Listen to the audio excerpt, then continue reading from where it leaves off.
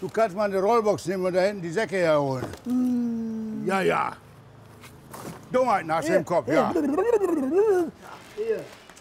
Läuft bei dir.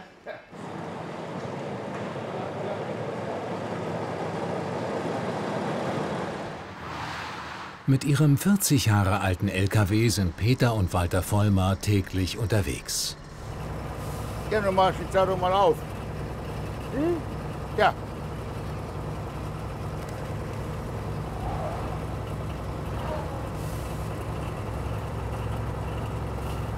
Hier, Papi.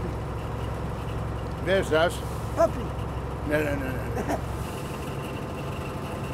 Die beiden verdienen ihr Geld mit dem Einsammeln von Altpapier und Pappe. Papi. Du sollst nicht Papi sagen. Du weißt genau, wie ich heiße. Da kommen die Leute immer an, auf der Straße fahren. Ihr Sohn kann aber schön mithelfen. Ich sage, da ist nicht mal so, das ist mein jüngster Bruder. Aber hat sich letzte Zeit so angewöhnt.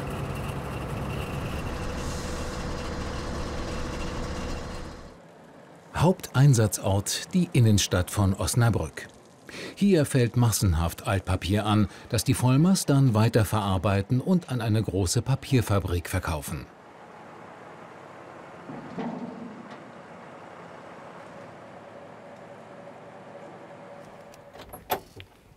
Du kannst aussteigen, mithelfen. Ah, da? Ja, komm mal her. Ah, Walter ist 79, sein jüngerer Bruder Peter 63. Seit fast 50 Jahren sind die beiden zusammen unterwegs. Wir sehen zu, dass wir einigermaßen gesund leben. Dann geht das. Ne? Ich habe früher Sport getrieben, Leichtathletik. Und Rad gefahren. Und Paddelboot gehabt. Heute heißt das Fitnessprogramm ausschließlich frische Luft und ganz viel Papier sammeln. Die auf dem Sofa setzen Fernsehen gucken. Total verkehrt. Peter, wie läufst du denn wieder rum? Du musst du deine Hose zumachen. Hast du das vergessen? So. Komm her. Ganz alleine. Er ist letzte Zeit vergesslich geworden und schwerhörig.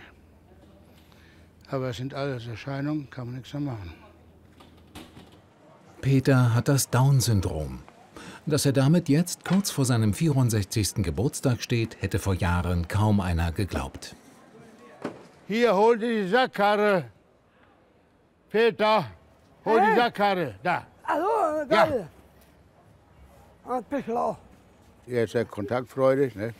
Und äh, das hat ihn ja auch genützt, deswegen ist er ja auch so alt geworden. Nicht?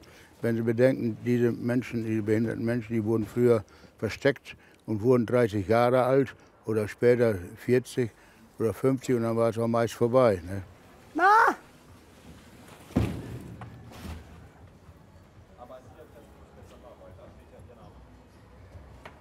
Peter, nur zwei nehmen, nimm den oben runter. Hallo, bisschen Das ist zu viel.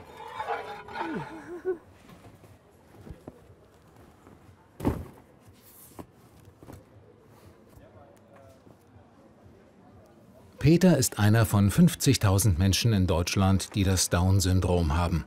Ein angeborener Fehler im Erbgut. Peter hat Glück, dass er mit seinen 63 Jahren noch so agil ist. Rund die Hälfte aller Menschen mit Down-Syndrom leiden unter einem Herzfehler. Viele haben schon als Kind Sehstörungen. Auch Leukämie tritt bis zu 20 Mal häufiger auf als bei gesunden Menschen.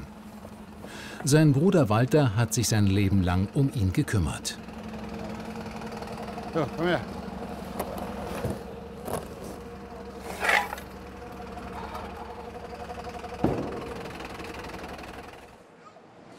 Ich stehe auf dem Standpunkt. Es gibt geschriebene und ungeschriebene Gesetze. Und zu den ungeschriebenen Gesetzen gehört, dass wir den nächsten Verwandten, wie Eltern, Brüder, Schwestern, Kinder, wenn die Hilfe brauchen, dass man denen hilft. Und zwar ohne lange zu fragen. Oder was kriege ich dafür? Wegen Peter hat Walter nie geheiratet. Keine Frau wollte sich auf den behinderten Bruder einlassen. Es ist ganz klar, wenn man einen Kranken oder Behinderten oder einen alten Menschen in der Familie betreut, nicht, dass das äh, auf Kosten des Privatlebens und, und, und der Freizeit geht. Ist ganz klar. Nicht? Walter hat sich damit abgefunden. Er fühlt sich für Peter verantwortlich. Mitten in der Fußgängerzone wird erst einmal gefrühstückt. Eins der täglichen Rituale. Immer Butterbrot. Ich nehme immer Schwarzbrot und eine Scheibe Schwarzbrot, eine Scheibe Korinthenbrot und dann Käse drauf. Ne? Und Peter hat ähm, Butterbrot mit Leberwurst. Ne? Ich trinke Tee, ja, er trinkt auch Tee. Ne? Das muss sein. Ne? Man kann nicht mit hungrigen Magen kann man nicht arbeiten.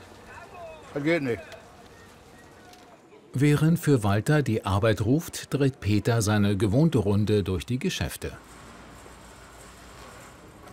Na, da bringst du ja super Wetter mit heute, ne? Alles gut? Ja. Bei dem Wetter immer, ne? Ja. Aha, gut.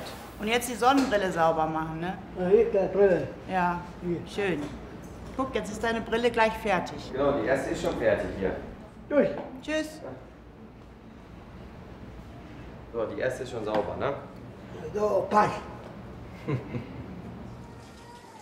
Walter hat heute noch einiges zu organisieren.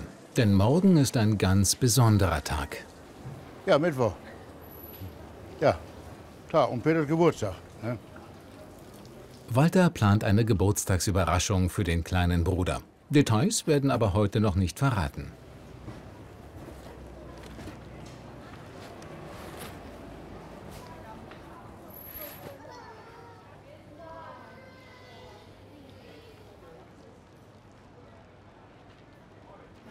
Peter ist da. Peter ist da. Moin, Peter. Alte Socke. Na, hast du heute einen Tanz?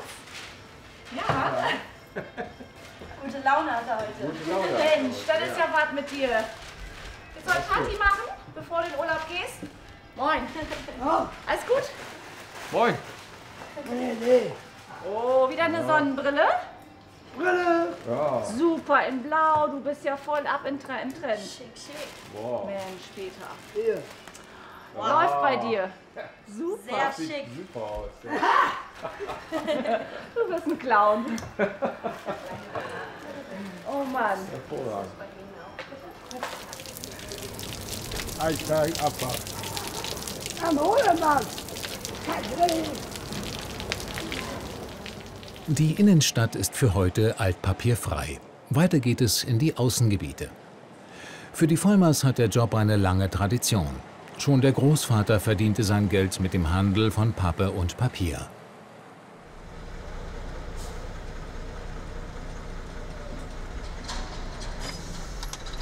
Meine. Brille brauchst du nicht, Peter. Handschuhe.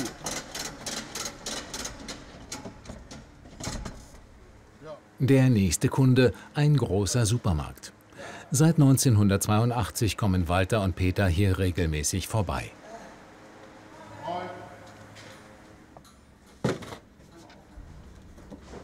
Peter ist nie zur Schule gegangen.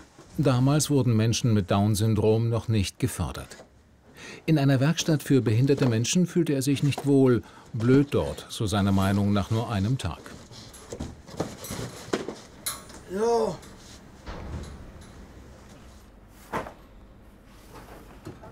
So. Ja.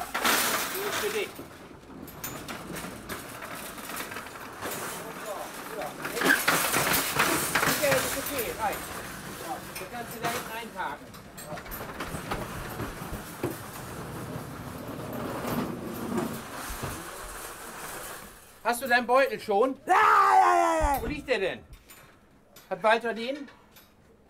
Da, komm mal da. Ja, ich schau mal eben nach.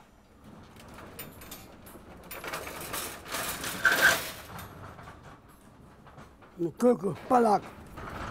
Ihr bekommt ja immer von uns ein Lunchpaket. Das ist so ein Ritual. Kleine Tüten, Joghurt, ein bisschen was zu trinken. Und was er am liebsten mag, so irgendwann in der Mittagszeit, ist ein kleinen Bohnenkamp.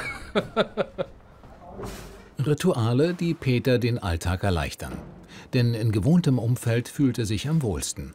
Doch das Wichtigste ist der große Bruder.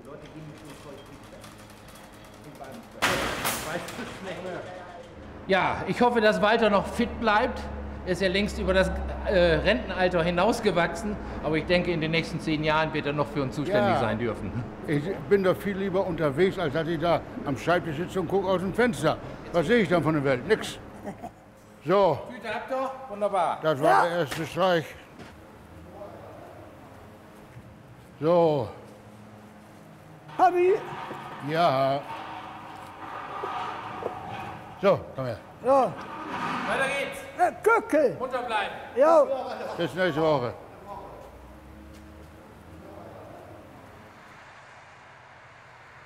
Voll beladen geht es zurück nach Hause nach Bad Bergen. Es ist wieder später Mittag geworden. Die Schwestern Heide und Eva haben das Essen bereits vorbereitet, so wie jeden Tag. Die beiden helfen, wo sie nur können. Sie kochen und machen den Haushalt, um den Brüdern den Alltag zu erleichtern. Peter ist beim Essen wählerisch, lieber süß statt Eintopf. Nur ein bisschen. Nein. Peter, nur ein ganz bisschen. Die. Das willst du essen? Ja. Und kein Gemüse? Nee. Peter, das ist ein ganz klarer Fall. So. Es werden alle Wünsche erfüllt. Bitte. So, wo wolltest du es jetzt hin haben? Ja, das mal noch am Tisch. An dem runden Tisch willst du es jetzt.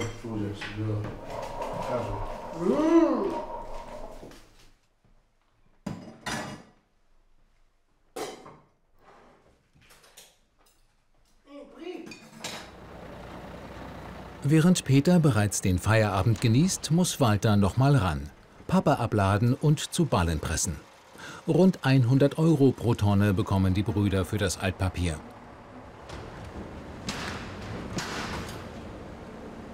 Den Hof mit den Hallen haben sie vor 30 Jahren gekauft. Damals lief das Geschäft mit dem Papier noch deutlich besser. Damals waren aber auch die Maschinen noch neu und die Energiekosten wesentlich geringer. Doch stöhnen hört man einen Vollmann nicht. Ganz im Gegenteil. Ich bedauere nur die reichen Leute. Die haben ja keinen Hunger mehr. Die haben ja keinen Appetit.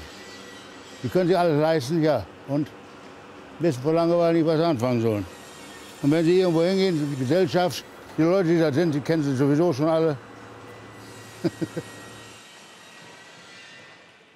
es kann am Tage meinetwegen alles sein. Ob das heiß ist oder kalt oder trocken oder nass, ob es regnet oder Sonne scheint. Ob sauber oder dreckig, das macht mir überhaupt nichts aus. Aber eins darf es mit Sicherheit nicht sein. Es darf nicht langweilig sein. Das tötet. Das tötet den Verstand und den Menschen. Eine 50 bis 60 Stunden Woche und das mit fast 80 Jahren. Dabei ist er nicht mal darauf angewiesen, denn Walter bekommt Rente und hat auch sonst finanziell vorgesorgt. So, Ende der Vorstellung. Schluss. Urlaub. Schrei, Mau. Wer war denn frech? Eva oder Heide? Hä? Wer war frech? Eva oder Heide? Heide da. Heide war frech? Ja, das sind Frauen, da kannst du nichts mehr machen. Blöd. Die, die wollen reden. Wenn die nicht reden können, sind die nicht gesund.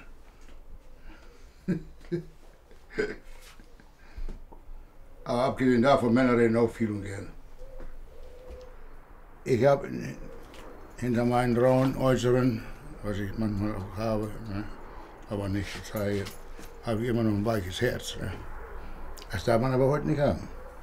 Jedenfalls nicht zeigen. Hey, aber auf jeden Fall Voilà. wollte ich nicht zulassen, dass der Peter Heim abgeschoben wird. Kückel. Was ist denn? Ein Bies. Wo ist ein Bies? Ja, blöd. Wo ist ein Bies? Und da hier, ja. Da ist ein Bies. Ja. Ein Frei. Ein bisschen. Und bissig. Ja. Na, ja, auf jeden Fall, das wollte ich nicht zulassen. Dann würde er schon gar nicht mehr leben. Und du ich. Und passt. Was, was passt? Du. Du, ich und du. Ja. Wir beiden passen zusammen. Ja, schön.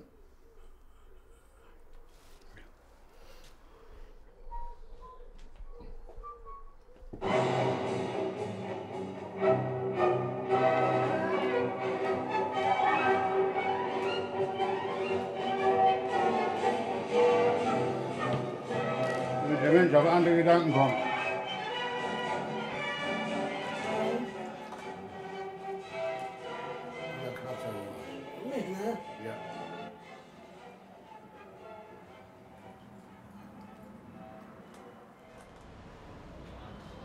Der nächste Morgen.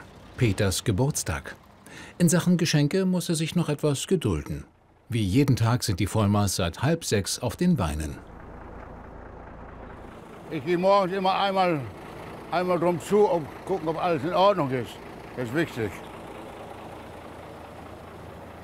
LKW und Anhänger sind anfällig für Reparaturen. Doch Walter und Peter haben einen Faible für Oldtimer. Denn Sicherheit ist oberstes Gebot auf der Straße.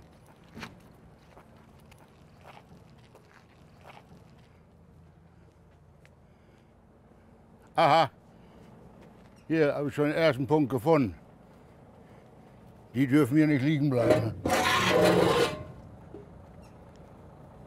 Zum Fuhrpark gehören insgesamt fünf Lkw, alle aus den 70er Jahren, alle mit Mercedes-Stern. Für heute gibt's nichts weiter zu beanstanden.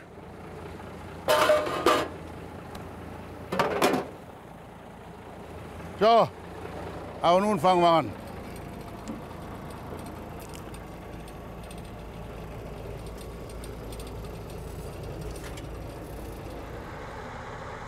Drei Container plus Anhänger muss der Oldtimer ziehen, schluckt dabei mindestens 30 Liter Diesel auf 100 Kilometern. Wieder ein großer Kostenpunkt. Aber Walter liebt seinen LKW. Für kein Geld der Welt würde er auf einen modernen Bock umsatteln. Robuste Technik statt Schnelligkeit.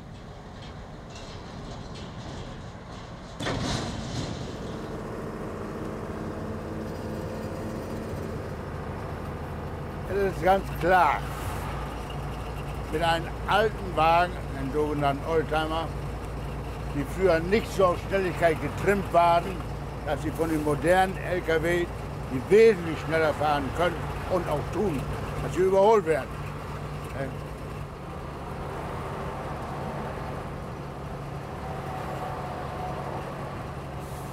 Aber das macht mir nichts. Wenn ich nicht so schnell fahre, kann ich einmal nach links, einmal nach rechts gucken. Und ich kann mir alle Sachen, die mich interessieren, durch den Kopf gehen lassen. Wenn die schnell fahren, dann muss ich nur auf den Straße konzentrieren.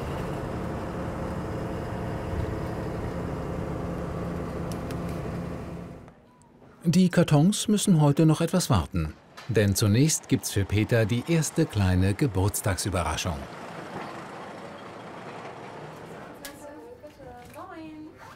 Wir möchten ein Buch abholen, Ja, weil er nämlich heute Geburtstag hat. alles klar. So, äh, habe ich reservieren lassen für Vollmar. Ja. 19,95 Euro Ja. bitte.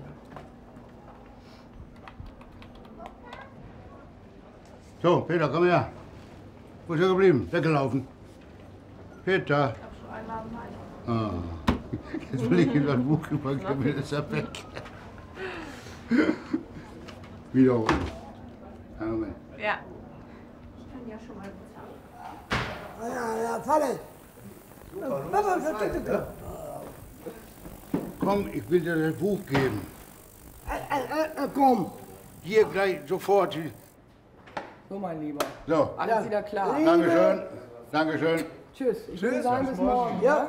Bis morgen. Ne? Jo, macht's gut. Tschüss. So, komm her. Ja, da. Komm her, jetzt kommt das Buch. Komm her. Und werd nicht albern. Blöd, Papa, blöd.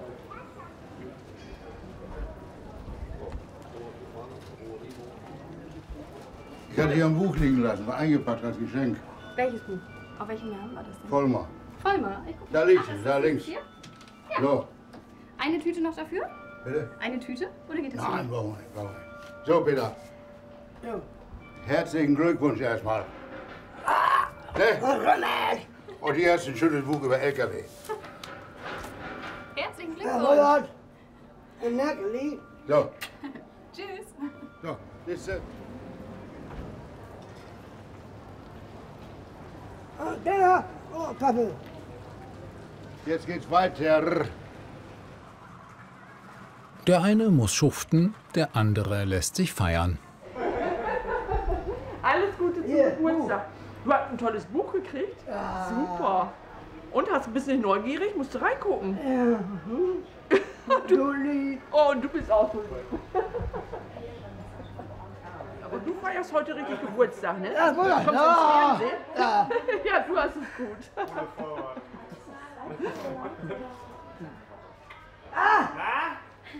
Hi Peter! Ja, ihr Lieben. Alles gut bei dir? Hallo! Na? Alles Gute. Ja? Jo.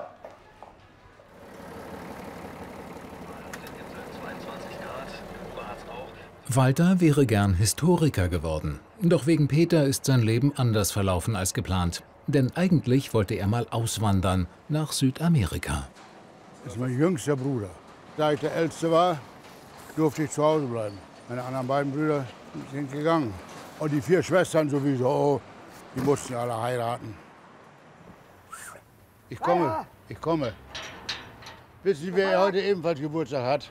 Helene Fischer. so, komm her. So, den leicht tun wir noch einen drauf.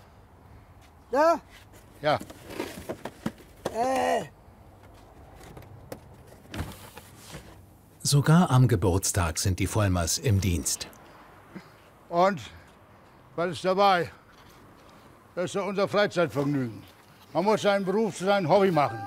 Dann macht es auch Spaß. Ne?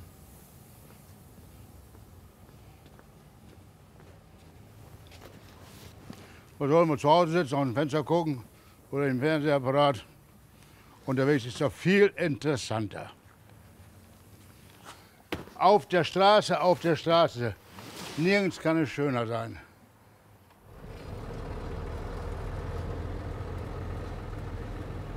So. Was ist denn? Hier. Was? Ach so, Brille natürlich. Totschick. Schlaue Ohr. Nein, die Ohren bleiben dran. Die letzte Station vor der großen Geburtstagsüberraschung. So ist mein Co-Pilot. Trinkt schon wieder Kaffee. Kaffeetante. Happy Birthday to you. So, bitteschön. Und jetzt bitte einmal auspusten, Geburtstagskind. Ich werde erst auspusten. Ist heiß.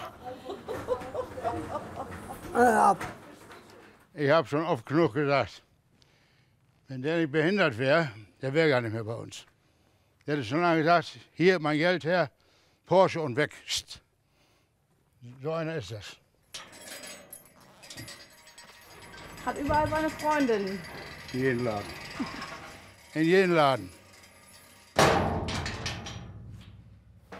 So, Peter, bist du fertig? Kamerad. Ob du fertig bist, wir wollen weiter. Nee.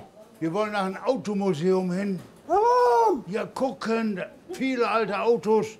Ja. Und da ist die Frau von der Duscho, die kennt dich auch. Da haben wir schon mal Kaffee getrunken. Alter. Ja. Ich muss ihn gleich schmackhaft machen.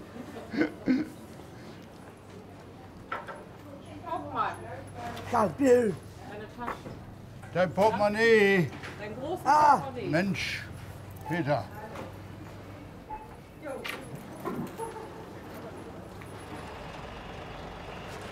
Das große Geheimnis ist gelüftet. Walter hat einen Geburtstagsbesuch im Automuseum in Melle organisiert. Museumschef Heiner Rössler erwartet die Brüder mit einer besonderen Überraschung.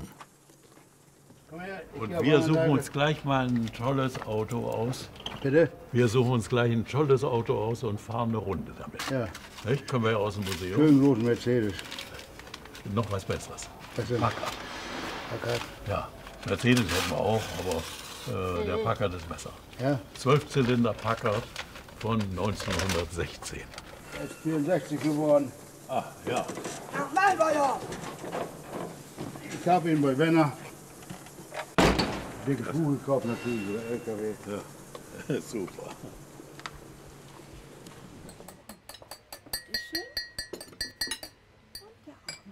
Jo, danke. Ja, ja, ja. Guten Appetit. Danke. Hm. Äh, Gut, Peter. So. Mensch, Ah! als erstes Mercedes. Ja, mein Vater.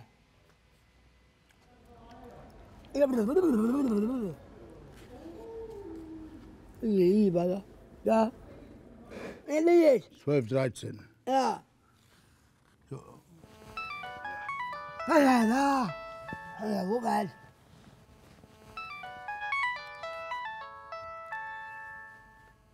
Was bin ich zurück? Vollmer. Ja. Wir sind im Melle im Automuseum, das ist auf dem Hof im Schatten.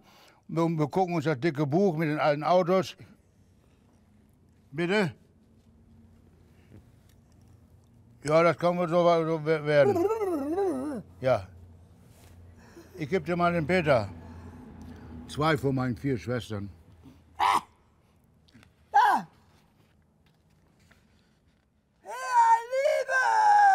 Ja, Angelei! Ja, du süß! Tempo. Ja! Ja, du lieb, meine arme liebe Ja, Maki! nun, nun spinnt man nicht so wie rum. Ja! Und brav! Und paar Kinder, hä? Tschüss!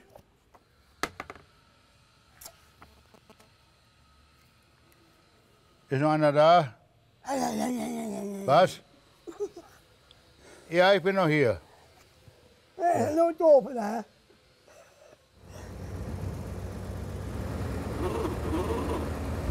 Super! Papi! Ja, gut. Super! Peter, nicht, nicht so laut. Die Geburtstagsüberraschung für Peter und auch Walter ein voller Erfolg.